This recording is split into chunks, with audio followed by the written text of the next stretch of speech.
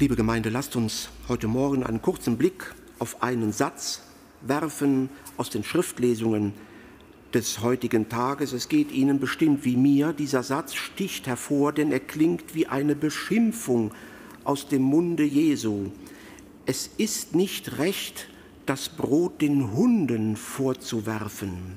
Es klingt wie eine Beschimpfung dieser Frau, die Jesus um einen Gefallen bittet, die Jesus um seinen Segen bittet. Tiernamen sind seit jeher beliebte Schimpfworte, wir alle kennen das.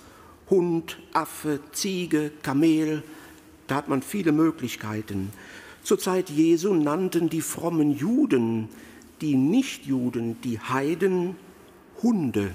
Und das war natürlich nicht nett gemeint da drückt sich aus die Kluft zwischen Israel und den anderen Völkern. Die Israeliten haben die anderen Völker oft als brutale Besatzer erlebt. Und so kommt dieses Wort der Hunde.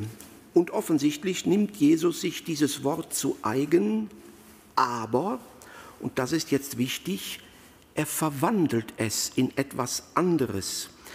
Darum denke ich manchmal, müsste man genauer übersetzen. Das griechische Wort für Hund ist Kynos. Hier aber steht Kynarion. Und das heißt übersetzt eigentlich das Hündchen, der Schoßhund, der Haushund.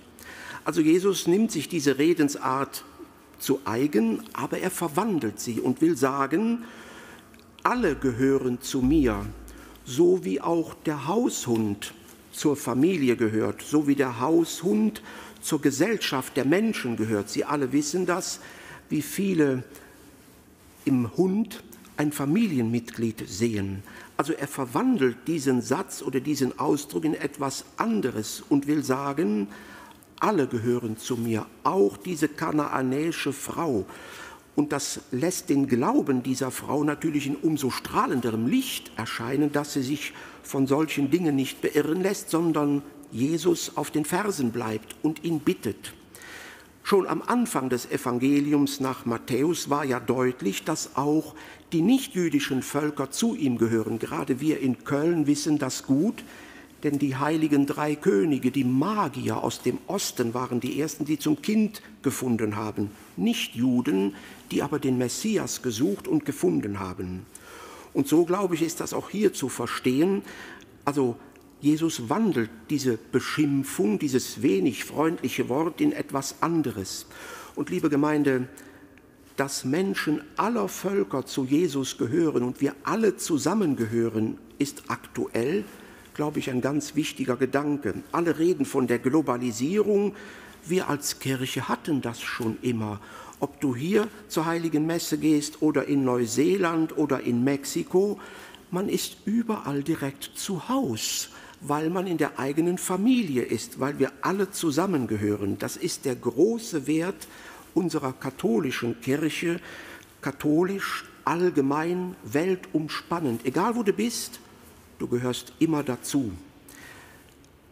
Das Gegenteil oder eine Zerrform des Ganzen kann man im Moment auch sehen. Die orthodoxen Kirchen, die ich sehr, sehr hoch schätze wegen ihrer Tradition und ihrer Liturgie, stehen manchmal in der Gefahr, sich auf einen Staat zu konzentrieren.